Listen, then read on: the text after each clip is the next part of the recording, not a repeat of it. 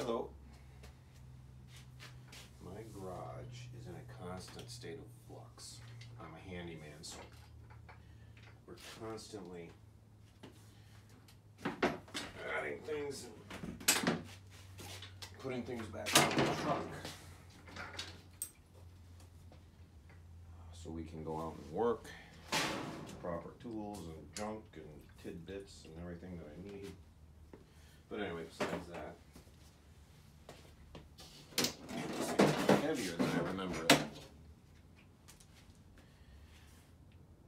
I am going to, I've been getting a lot of questions about the bike um, on YouTube. Not a lot, but I don't know, maybe five or six of them over the course of a month or two. I suppose it's springtime. People are wanting to build a bike, and in particular, I get a lot of questions because this is a La Jolla Next bike, and I think it's a great bike. But uh, in, in regards as how to fit the engine on this thing, and it really wasn't that hard. But what I'm going to do first is I'm going to take it out. It's, pretty heavy.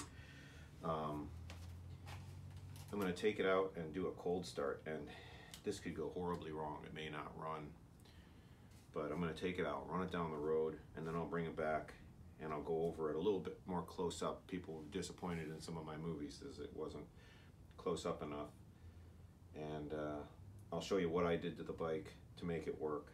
There were a few things, and uh, I'll show you some of the things around my shop that I use, but I'm going to take this thing out for a ride. Now, it's mixed fuel, right? And it sat in here all winter long. I keep the garage warm. It doesn't go below freezing. Usually keep it around 40 degrees or so in here. And this is Buffalo, so we were down in the 20s a lot. See if I can run some good gas through or whatever's in the tank anyway, year old, and see if it runs.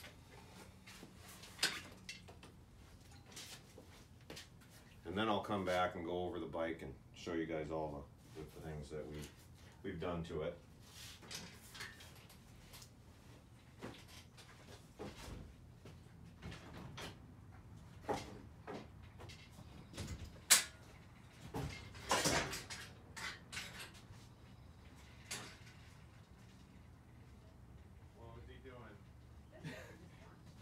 Squirrel didn't even care that he was there. As the squirrel moved, once the squirrel realized he was there, he moved, and Cooper took off after it.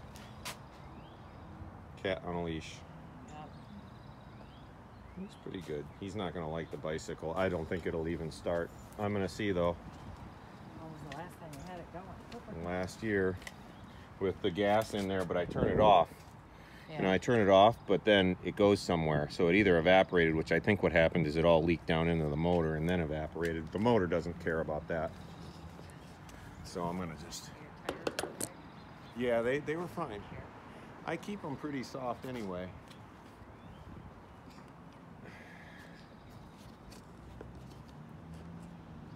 There we go. We'll see how that works. All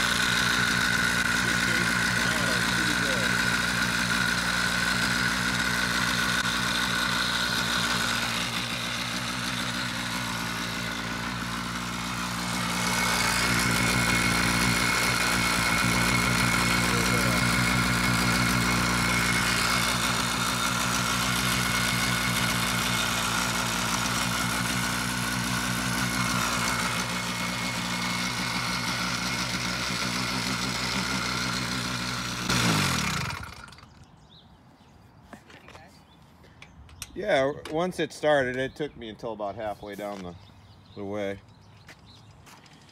All right, I'm gonna go in the back.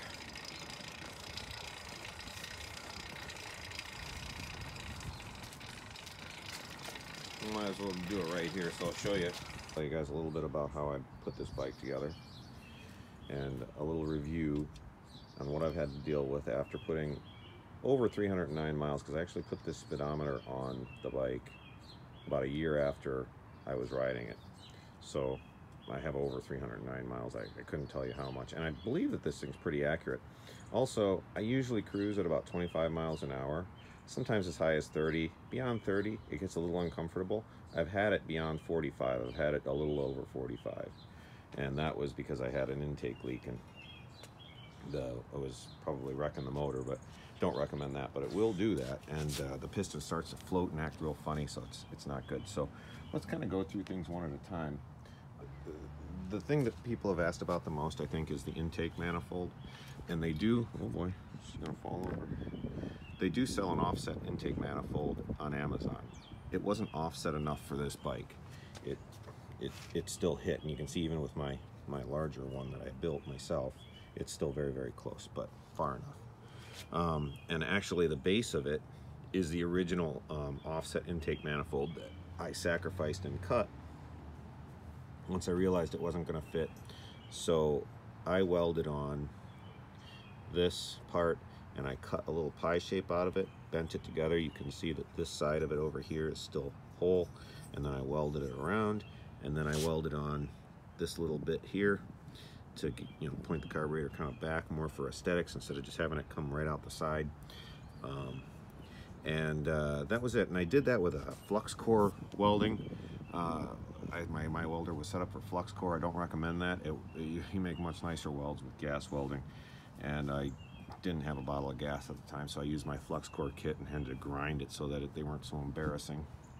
But anyway, so I built that myself, and I did that using galvanized conduit. It was $6 for a 10 foot length from Home Depot. Um, now you're not supposed to weld galvanized because it makes it makes terrible fumes that apparently kill you. But if you do it outside or have the garage door open, I think you'll be fine. So be careful with that.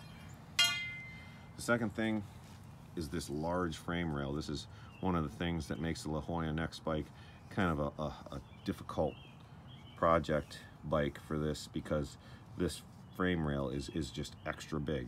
And in this case, it was not only too tall, but it was too wide. The too tall could be taken care of. I went to Home Depot. A couple bucks later, I matched up some metric bolts that, that threaded perfectly into the original motor. And they were long enough, but there still was about an eighth of an inch too much width this way. So that is where this came in. This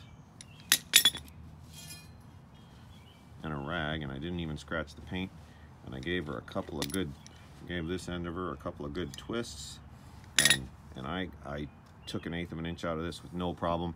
I watched to make sure I didn't get any cracking at the top or the bottom. But once I got it pinched down to just the right width you can see that this thing saddled on there quite nicely. And it did it, it the, the geometry of the motor seems to be set for this this very shape here. It really fits nice. You can see here back one and on the front one. So if you're worried about that and you have just enough clearance here. So because of this downward swooping thing, which is what makes the bike look so nice, um, you still have enough room and it fits quite nicely. Um, and I think that's the main concern people were, were asking me about, the fitment of the motor and how I did it. So the biggest problem you're gonna have is this, and the, the beta version of this, the first time I did this, I actually used, I have some around, I had some here. I used flexible copper tubing and I jammed it into the flange and I uh, used electrical tape to booger it together. And that actually, I ran it that way for the better part of the first year. And it was just, you know, I was putting this thing together for the first time, didn't have my welder, and was like, well, what the heck, I'm putting this thing together and getting it going and that's what I did. And I and I fashioned the carburetor, you know, just clamped the carburetor to the half inch copper, just like it's clamped onto here, like it's supposed to be, and black electrical tape the thing up, and, and it actually worked out pretty good. The problem is black electrical tape it uh, dissolves in gasoline. So it, it only lasted so long. Anyway, on to the next thing. That was the experimental version. You can booger a intake manifold together with anything. The other thing I had to do, well I did because of looks, is the muffler didn't have this much of a bend in it.